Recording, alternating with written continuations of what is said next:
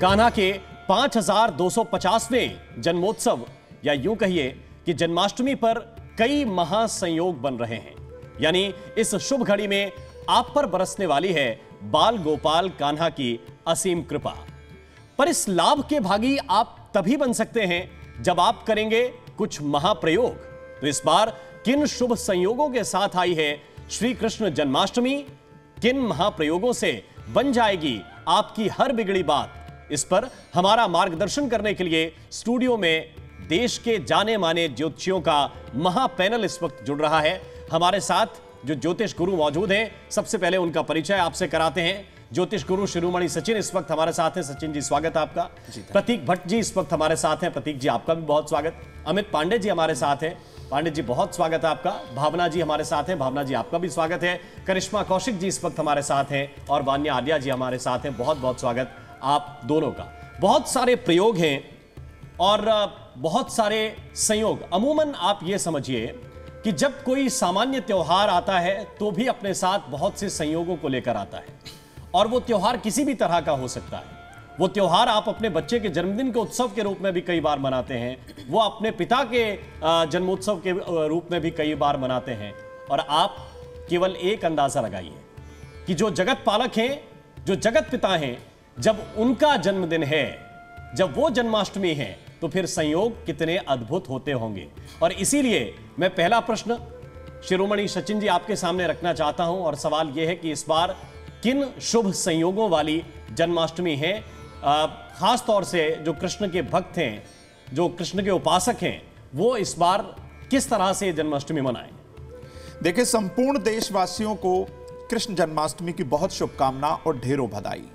देखिए, सभी लोगों को बता दूँ, राम जी, कि इस बार जो जन्माष्टमी का जो पावन पर्व है, बहुत शुभ संयोगों के साथ आया है। क्योंकि बहुत सारे संयोग इस समय बने हुए हैं। जैसे कि सूर्य और बुद्ध का आदित्य राजयोग सर्वार सिद्धि योग, रवि योग और इसी के साथ ही कृष्ण पक्ष की अष्टमी के दिन, भाद्रपद मास के कृष्ण पक्ष की अष्टमी तिथि को रोहिणी नक्षत्र, वृषभ लगन, मध्य रात्रि में, मथुरा में भगवान कृष्ण का प्रकट्य हुआ, उनका जन्म हुआ। लेकिन आपको बता दूँ, इस वर्ष जो ये योग संयोग बने हैं, ये बहुत चमत्कारी हैं। विशेष तौर पर उन लोगों के लिए जो संतान की कामना कर रहे हैं, जिन्हें अपने स्वास्थ्य की कुछ ना कुछ समस्या बनी रहती है। तो इस बार के योग संयोग बहुत महत्वपूर्ण है मित्रों। लेकिन कुछ योग संयोग जो हम आपके साथ अभी कुछ समय में साझा करेंगे, उनके बारे में मैं आपको छोटी सी एक जानकारी दे दूँ कि इस दिन कालाष्टमी भी है। जिस दिन कृष्ण पक्ष की अष्टमी हो, उस दिन कालाष्टमी भी होती है, रोहिणी अष्टमी भी है, चंद्रमा वृषभ लगन के अंदर और रोहिणी नक्षत्र में है तो यह अद्भुत महासंयोग इस वर्ष बना हुआ है।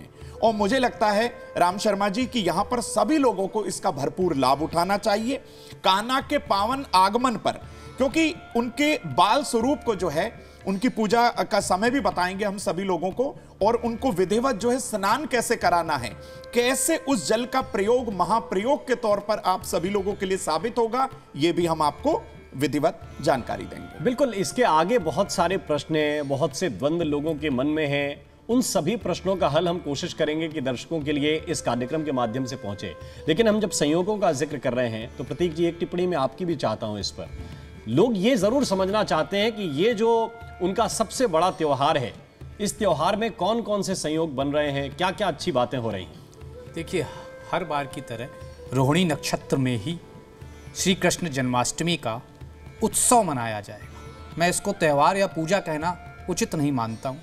ये उत्सव है, जो सिर्फ़ भारत में नहीं, पूरे संसार में मनाया जाता है। तो निश्चित तौर पर ऐसा उत्सव हो जिसे देवतागढ़ भी मनाते हों और ग्रहों की विशेष चाल ना हो तो फिर वो उत्सव कैसा? तो सरवार सिद्धि योग, जैसे कि सचिन जी ने बताया, सूर्य बुद्ध एक साथ है। बुद्ध आदित्य योग बन रहा है। चंद्रमा रोहिणी नक्षत्र में होने की वजह से प्रबल कहीं ना कहीं मज़बूत हो जाते हैं, बलशाली हो जाते हैं। और यही कुछ स्थिति पूरी तरह से तो नहीं, लेकिन श्री कृष्ण के जन्म के दौरान भी बनी थी। सूर्य अपनी ही राशि में थे।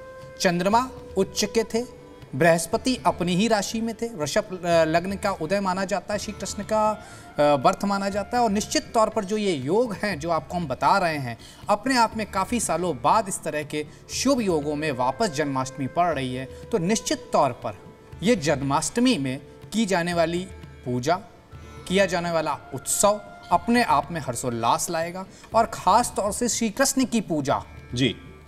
करुणा सुरक्षा और प्रेम का प्रतीक है। तो निश्चित तौर पर संतान प्राप्ति हो